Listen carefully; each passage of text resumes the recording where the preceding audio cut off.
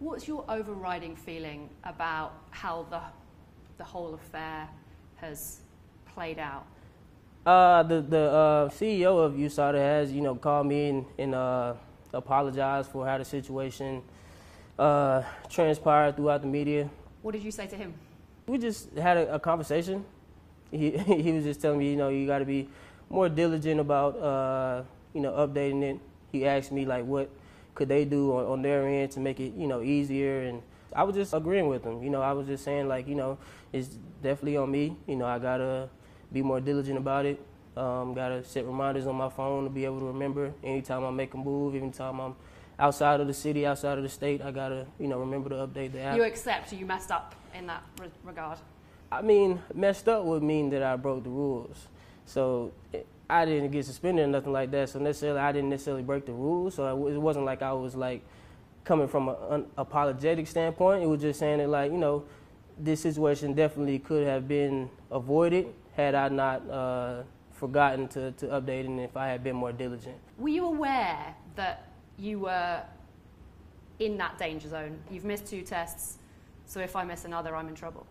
I don't know. I think people have a misconception of athletes when they think about what like that goes through their heads. Obviously, that's the thought when it's just front and center. Like, here's the issue. It's just like, why weren't you thinking about this? I don't know. It's just like I'm I'm an athlete. I'm a human being. I have personal issues going on. I have family, friends. I live outside of where I'm from, so I'm constantly traveling back and forth.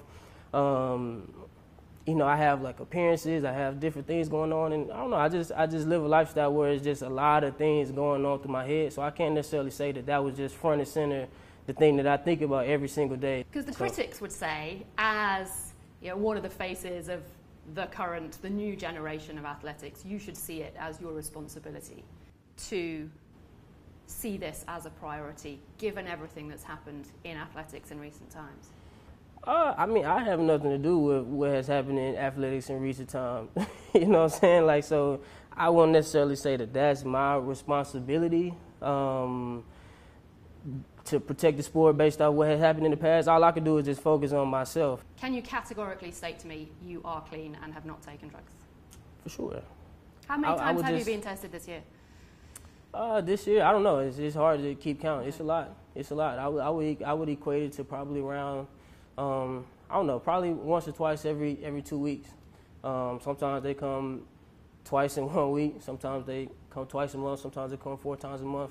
Uh, outside of competition and in competition, there's not really much else I can do or say about it. It's either you believe me or you don't believe me. I feel like I've been really like transparent about the situation. At least I try to be, and just explain to people the situation and it's nothing fishy going on. You know, I'm just a regular guy, just happen to be really talented and, you know, have a, a gift from God that I've worked really hard at.